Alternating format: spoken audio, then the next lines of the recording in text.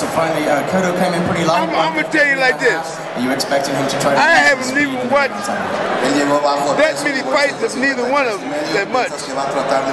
But uh, Bueno, yo creo que yo hice mi trabajo, es importante hacer lo que I look forward to a good fight. I'm not going. I'm not going to just call no name now because I can't honestly tell you on this. Only thing I can tell you right now, huh?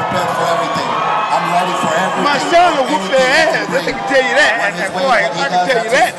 If, you, if nothing ready, else I can tell you, I I can tell you that. challenge in front. I know what And you got a lot left in the tank. You got a beautiful young lady on your arm. That is sound. You got a lot left in the tank. This dude in the house, Saturday night. Let's go to the corner to bring this thing So, so Junior got it from you. Huh? Junior got it from you. I mean, wait a minute. Come on, man. Who else could he get it from?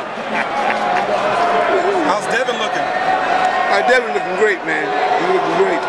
He knocked the guy down um, yesterday. Uh, he knocked the guy down, and um, and then the other day he just fought another.